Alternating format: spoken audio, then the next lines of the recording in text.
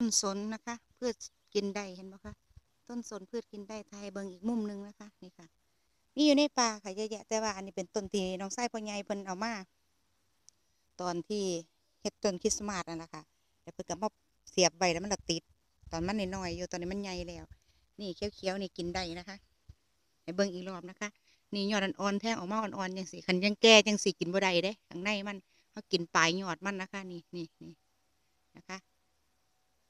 รสชาติเหมือนแบบมะขามอ่อนออกหอมๆนะคะ แกงกะทิแกงยั้งก็ได้นะคะแกงกะทิแกงอะไรก็ได้นะคะ เห็นบอกคะไม่น่าชิมให้เบิ่งก็ได้ค่ะนี่ค่ะ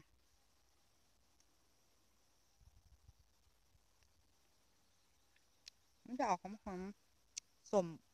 เน้นหน่อยสมกับข้าวบะขามใบบะขามอ่อนนะคะ